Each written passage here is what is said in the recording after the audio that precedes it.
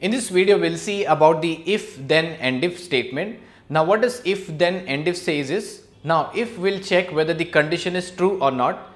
If the condition, condition is true, it will execute the set of statements. If not, it will end the loop itself, right? So, when I say if, then end if, let us see with the help of example how it is written here. Now, I have just written example. Let me try to tell you what exactly it is. I am accepting some number from the user. I want to check whether the number is greater than 20 or not. If the number is greater than 20, display a message to the user, yes, the number is greater than 20. If not, then end the if condition. So, let us see that.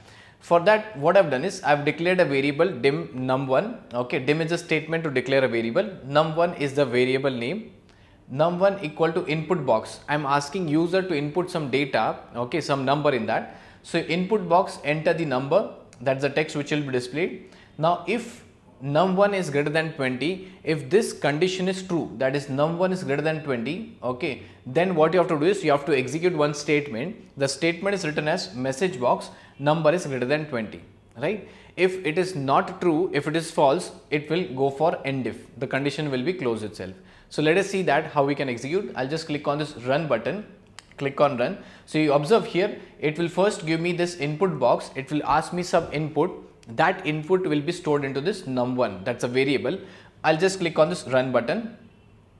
Okay, if you see it is executing this statement. So, whatever I input in this input box that will be stored in this num1, I will input as 24 which is greater than 20 obviously. So, if this condition is true it will display this message.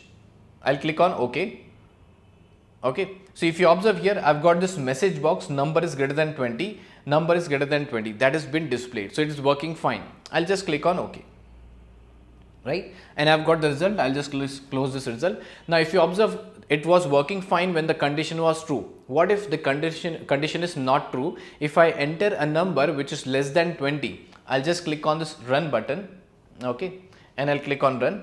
Now I'll try to enter number which is less than 20. Let's say I'll enter 5 and I'll click on OK.